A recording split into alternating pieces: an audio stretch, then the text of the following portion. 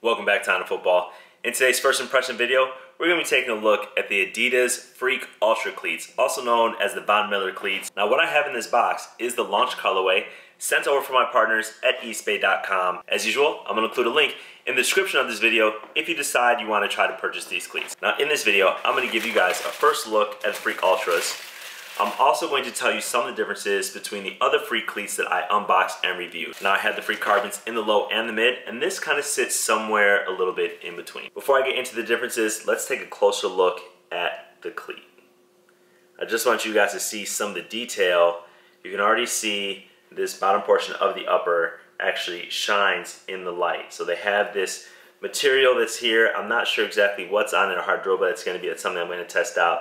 But for now, you know this is gonna look amazing under the lights. Here I have a pair of the Freak Lows, and you can already see some similarities between these cleats. Obviously, there's the aesthetic design, and you see this one's a little bit higher, but then you can look at the forefoot and you see that it uses the same type of iron skin. In the Freak Ultras, the two main similarities that you're gonna have between the Freak Carbon cleats in both the mid, the high, and the low, and the Freak Ultras are going to be the iron skin that you see here, that's a protective layer in the upper, and then you're actually going to have the razor frame as well that uses sprint studs in the forefoot as well as the heel to give you that multi-directional traction.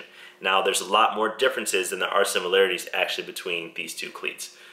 With the Freak Ultras, these use a prime knit upper. So similar to the prime knit Adizero cleats, this is gonna use a prime knit upper. So this should be really supportive, really tight. I really like the way that the Adizeros fit, so I'm excited to test this out.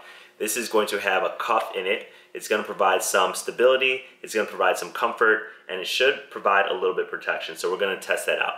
Now that's going to be a little bit different obviously than the low that ends about here and the mids that really give you a lot more support with the type of upper that's used. Now these Freak cleats, these lows as well as the mids actually use carbon in the midsole as well and the Ultras actually use Boost. Boost should do wonders for the cushioning, should make it super responsive and super cushioned as well, so I'm excited to test that out. Now you can't see the Boost from the outsole like you could in the Ultra Boost cleats, but these do have boost in the midsole. So uh, I don't know how thick it is. It's something I'm gonna try to find out and test out without cutting these cleats. I only have one pair, but I do wanna see exactly how uh, thick the boost is. So maybe I can take out the midsole. I'll try to do that in the review but these are gonna have a pull tab as well to make them easier to put on and we'll have to see how much it stretches and how easy it is to put on. Now usually cleats that have something like a prime upper that have a really good fit and squeeze on your foot are a little more difficult to put on. That's one of the trade-offs, but that's something that I'm gonna test out. Now some of the detail that I noticed in this cleat first is going to be this thick cushioning around the Achilles and the heel that should give really good lock in. Your heel should slip right in under all that padding and then that should be really comfortable on your heel. The other one is the detail of the Von Miller glasses on the inside. So this cleat, obviously Von Miller is a linebacker.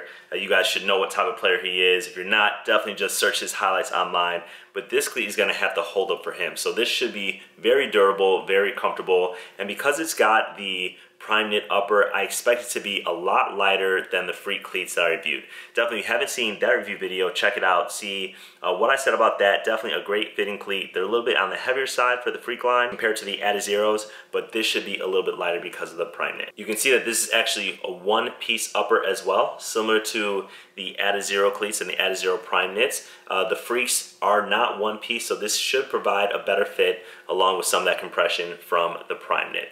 So this is offered in a number of different colorways. You can check them out on the Eastbay site. Again, I'm gonna include that link in the description. Now these retail for $180. That's definitely a premium over the Freak Lows, which retail for $90 and the mids that retail for 100 and then the highs that retail for 120 and even the Sunday's best collection is 150 so this is going to be the top of the line Freak cleat this is going to be one of the most expensive in the Adidas line. When I do my detailed review I will compare them a little bit to the Freak carbon cleats and just see what are the differences and how they're going to feel on your foot different between the mids the lows and as well as the Freak Ultra.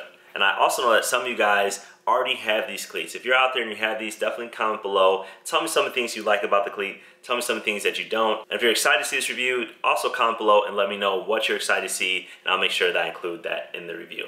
So for now, this is my first impression. Hope you enjoyed it. If you like my videos, remember to give me a thumbs up, share with your friends, subscribe, and I'll see you guys next time.